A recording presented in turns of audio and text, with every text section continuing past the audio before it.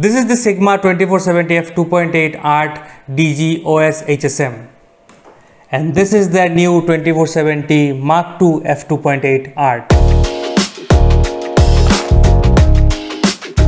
So the purpose of this particular intro was to prove that how far Sigma have actually come.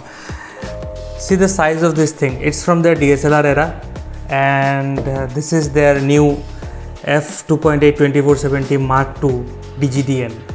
I currently don't have the Mark 1 version of the mirrorless uh, lenses of uh, Sigma 2470 but uh, let me assure you it's better in every way. Let me be explicitly honest.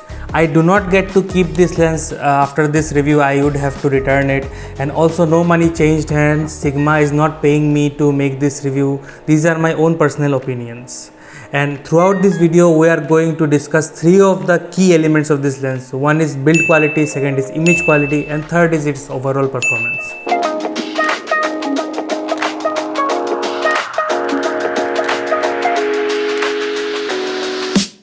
So I took this lens with me to several events. One is a dance video, another is a fashion event, another is a concert, and then I also took this lens with me to a particular portrait shoot. And the very first thing which uh, came to my mind while using this lens is its its particular weight. It's very very light very very you know handy.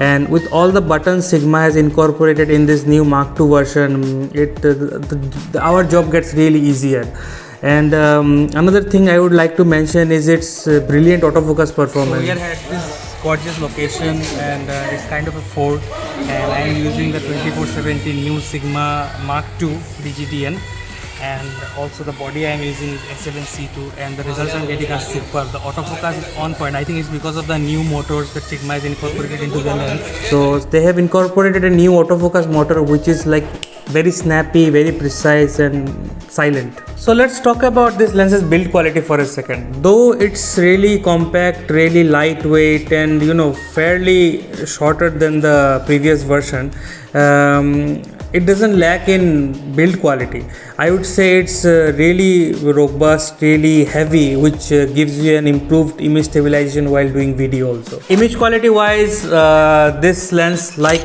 any other sigma art lenses is almost next to perfect. It does not have any vignetting. The edge to edge sharpness is great. Uh, there are no particular uh, lens flares or chromatic aberration. If you really uh, zoom in close you can uh, see it for yourself. So i would say i don't know it's because of they have implemented new technology or new coating because as i would uh, say for myself i don't know i am not a very technical reviewer per se it's my own personal feeling because at the end of the day getting the best for my clients is the most important thing to do and i think this lens does just that so at the end of this video the final question is should you upgrade if you do not have a 2470 yet, what are you doing? Go get one. It is the most versatile lenses of all. It has the 2.8 aperture and it has the 24 to 70 which is medium telephoto as well as wide angle.